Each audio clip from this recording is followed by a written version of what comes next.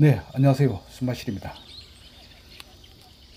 네, 오늘은 아주 그, 여러분도 이 식물이 보기는 많이 보았는데, 과연 어떤 식물인가에 대해서 많이 궁금했을 겁니다. 어떻게 보면은 잡초 같기도 하고, 어떻게 보면은 아닌가 같기도 하고, 그런 식물입니다. 어, 그렇지만 이 식물도 쓰임새는 있습니다. 네, 지금 보시는 이 식물은 이름도 아주 특이합니다. 방동산입니다. 방동산이 이 방동산이는 우리나라 전국의 논이나 밭둑, 내가, 강가 등에서 자라는 사초가의 한해살이 풀입니다. 이 방동산이는 성질은 평하며 맛은 약간 달고 쓰며 독성은 없습니다. 적박한 땅에서도 잘 자라지만 추위에는 약하고 땅속 줄기는 옆으로 길게 뻗고 뿌리 끝에 타원형의 등이 줄기가 생깁니다.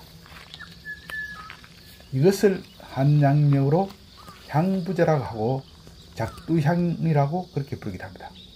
향부자 많이 들으셨죠? 어, 주요 성분으로는 페놀을 비롯하여 알칼로이드, 폴라보노이드, 정류, 베타시토스테레놀 등의 성분이 함유되어 있습니다. 어, 이그 방동산이는 부인병 아주 좋은 약초입니다. 잡초가 아닌 약초로 넘어갑니다. 갱년기 장기로 오는 우울증과 신경성 과민증에 방동사리를 달여 먹으면 마음과 정신이 차분해지고 진정이 되며 머리를 맑게 지는 맑아지는 그런 효능을 볼 수 있습니다. 우울증에 상당히 효능이 있다는 그런 얘기죠. 이 방동산의 등이뿌리 그러니까 향부자는 신경통 치료제로 널리 이용 중에 있으며 감기와 기침, 기관짐에도 효과가 매우 탁월하다고 그렇게 알려져 있습니다. 또한 이 그, 방동산이 향부자는 우리 몸에 막힌 기와 혀를 뚫어주는 그런 역할을 합니다.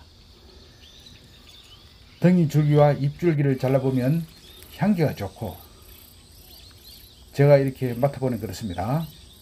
소화지로 세월을 거슬러 내려온 가스 할명수 있죠. 특정 상품을 이야기해서 그렇습니다만 가스명수의 그 독특한 맛이 바로 이 향부자의 것이라고 합니다. 그러니까 이뭐 가스명수가 어떻게 개발된지는 정확하게 모르겠습니다만은 아, 그러한 맛이 일단 이 향부자에서 나는 것은 확실한 것 같아요. 아, 그러한 특성을 가지고 있습니다.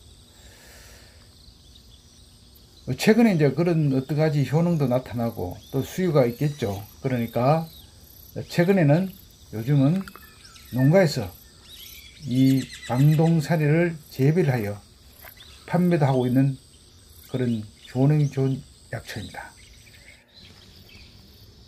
그동안 우리가 아주 잡초로만 알고 있었던 이 방동산이 향부자 오늘 실험 발견이 되겠습니다. 특히 우울증에 상당히 좋고요.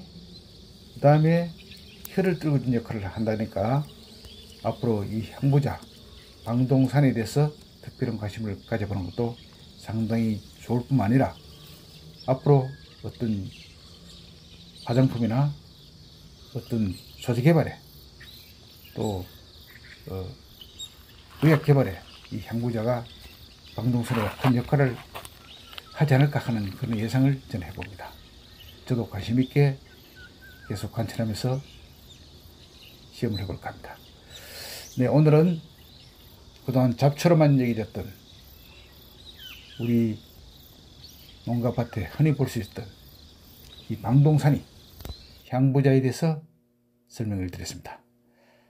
이상 스마실 TV였습니다. 시청자 여러분 대단히 감사합니다.